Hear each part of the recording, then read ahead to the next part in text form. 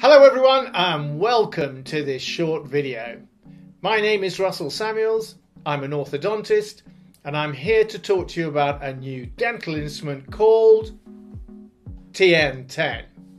The TN10 is a multi-purpose, double-ended, handheld dental instrument.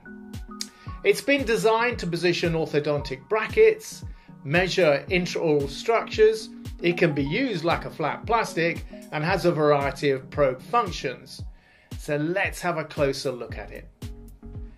Now, if we have a closer look at the instrument, we can see that at one end is shaped like a hockey stick and has millimeter markings on it, and at the other end is a stiff probe angulated at 45 degrees to the long axis of the instrument. Now if I turn the hockey end on its edge, you can see that the end is flat and parallel sided the whole length of the blade. It is not tapered like a lot of other instruments. The reason for the parallel sided design is that it allows the operator to maneuver the bracket into the desired position without the end binding in the slot. It can be used with either an 018 or an 020 slot, and the long axis of the hockey end is very helpful in aligning the long axis of the bracket with the long axis of the tooth.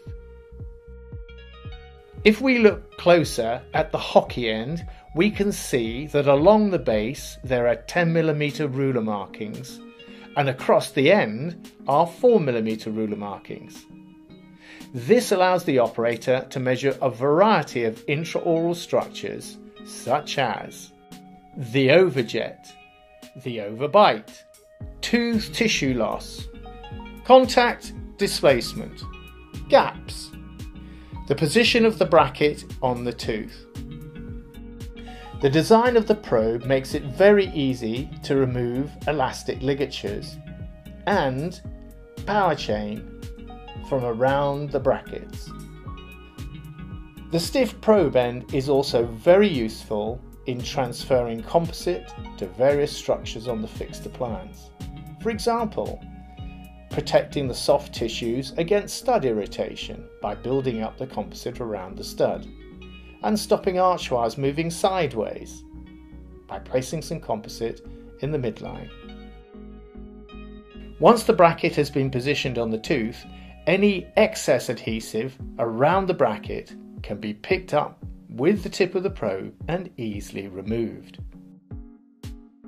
The probe is also stiff enough to enable the operator to remove any debris from between the teeth.